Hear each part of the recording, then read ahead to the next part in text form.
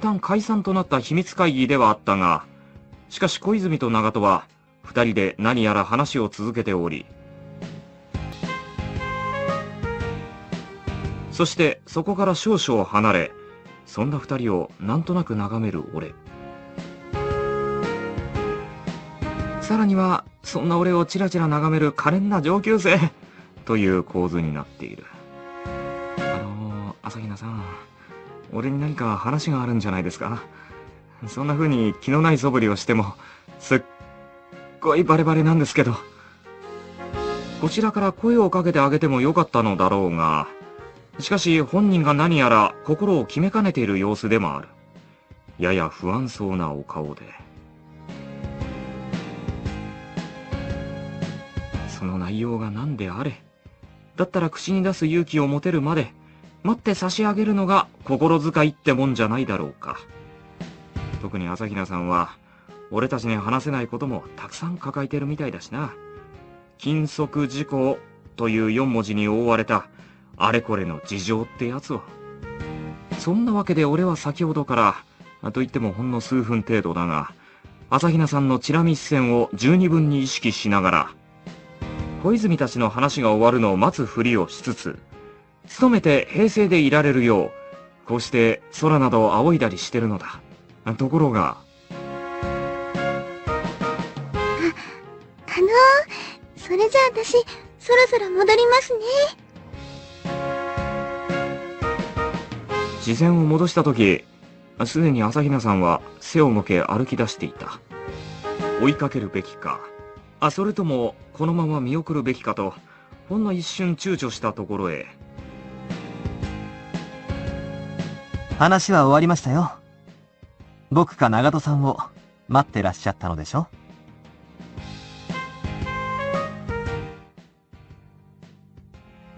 遠慮なさらずとも。あなたならいつでも会話に加わっていただいて結構でしたのに。ああ、いや、まあ、そうだな。おや、どちらへ？教室。振り返りもせずそうつぶやいて、スタスタと歩き去る長門。ということは、あなたは僕にご用だったというわけですね。いや、特に御用なんかはないんだけどな。あるとすれば朝比奈さんの方だ。なるほど。では、少々お付き合いしますよ。何がどう、なるほどなのかは知らんが、俺から何かしら話を切り出すのを街に入った様子。たく、いらん気を回しすぎってもんじゃねえか？さて、どうしたもんかね？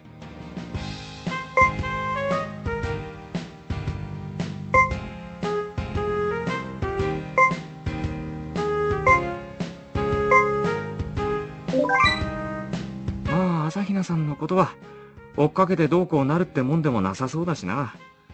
だったら、こいつと少し話してみるのもいいか。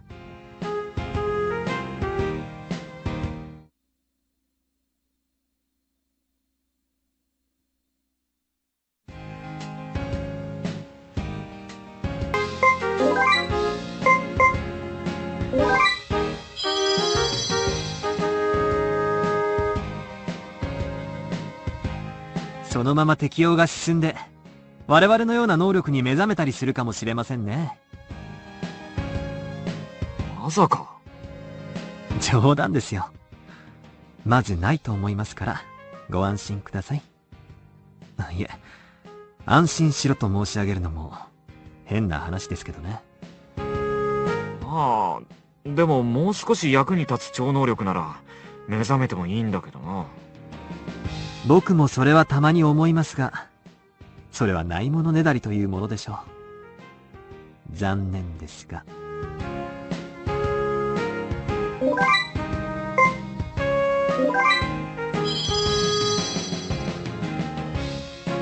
あなたは、どのようにお考えですか？さっぱりわからんからこうして聞いてるんだ。そうですか。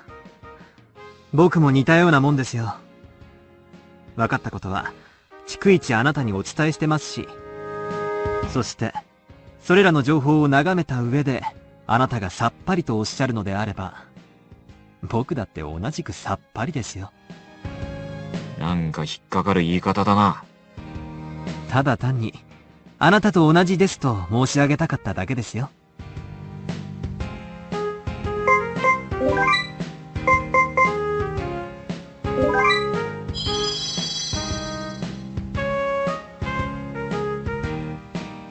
お心遣いありがとうございます。ですが、そのようなことはありませんし、むしろ喜んでいるくらいです。今回の事態の推移を内部から見届けることができるわけですし、それに、あなたからの信頼をいただけたというのは、大きな収穫の一つかもしれません。そういう気持ち悪いことをさらっと言うな。愛はありませんので、ご安心ください。あったら困る。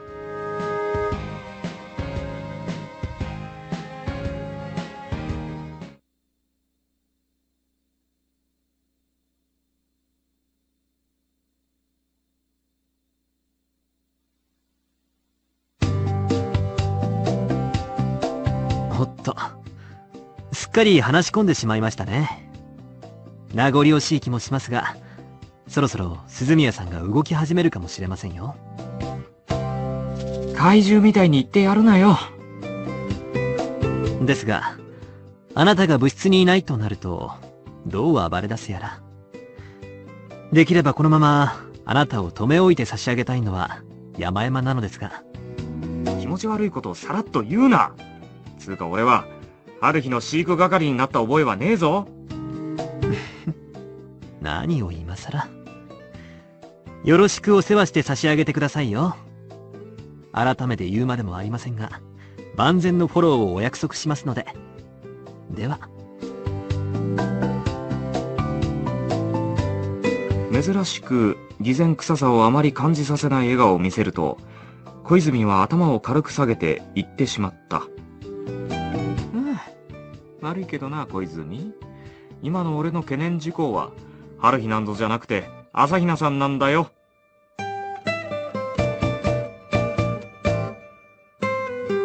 その後、夕方に決行される対春日用オペレーションのため、物質で一人待機していたところへ。あ、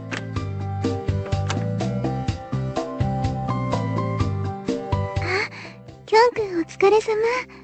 すぐお茶入れますね。いつもと変わらぬ様子で、早速お茶の準備にかかる朝比奈さん。その衣装のままどちらへ？というツッコミが即座に浮かび、しかし目のあたりが泣き晴らした後のようにも思え、なんとなく全ての言葉を飲み込んでしまった。まあ、触れられたくないこともあるだろうしな。その気があるならいつかきっと話してくれるさ。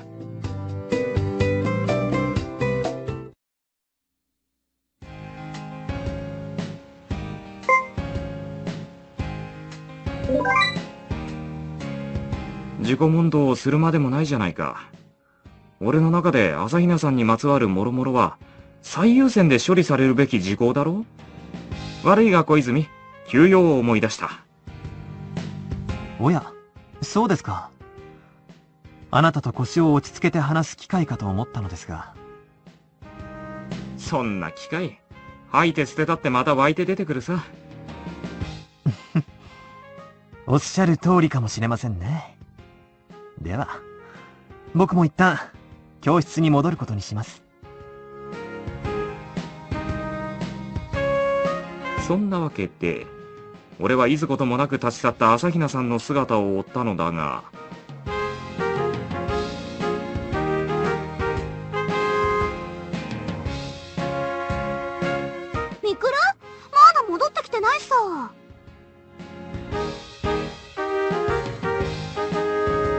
方なく、思いつく限りうろうろしてみたが、すべて無駄足を踏むだけであり、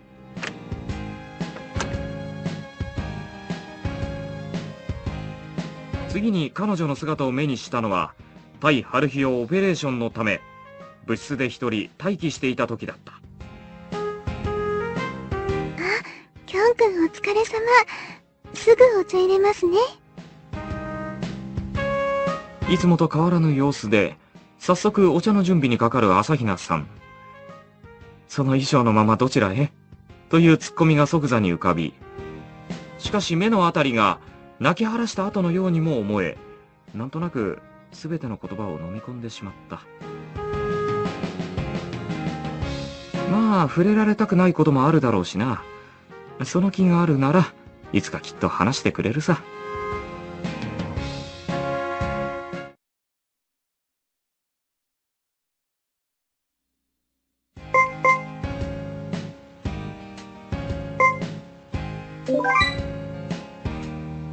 まあ、朝比奈さんのことは、追っかけてどうこうなるってもんでもなさそうだし、それに、このにやけ面を眺めてる気にもなれんしな。いや、やっぱ部室戻っとくわ。おや、そうですか。では僕も一旦、教室に戻ることにしましょう。また後ほど。その後部室で一人、気が向かないながらも3時間ばかり編集作業を進めていた時だ。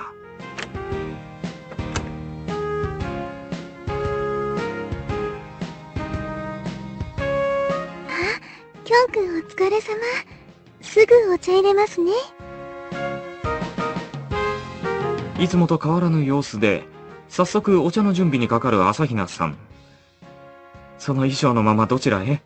というツッコミが即座に浮かび、しかし目のあたりが泣き晴らした後のようにも思え、なんとなく全ての言葉を飲み込んでしまった。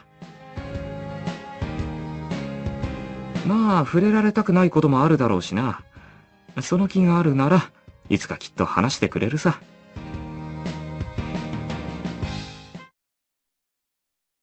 かけなくかけな、高評価、チャンネル登録、よろしくお願いします。今日もいいことがありますように。